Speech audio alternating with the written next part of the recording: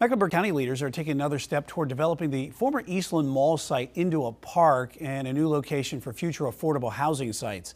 You, uh, Queen City News reporter Savannah Rudisell is at the Uptown Government Center with the details.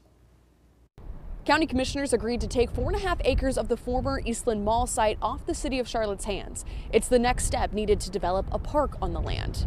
City parks and rec designers have already been working on a plan. They'd like to create turf and grass fields, walking trails, and a stage, among other amenities.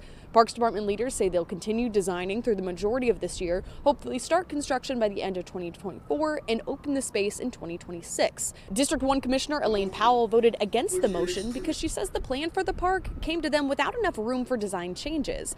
Other county leaders say they do not want to miss the opportunity to do something with the land.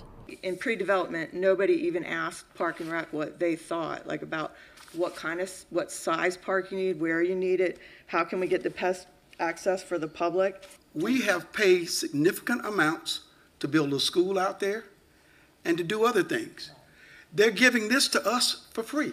Eastland Mall community for 14 years have been neglected.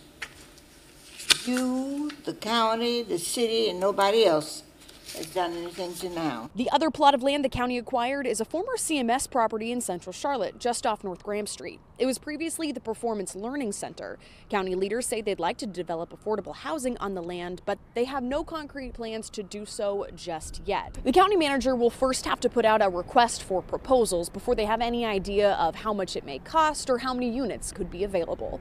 Reporting in Uptown, Savannah Rudisell, Queen City News.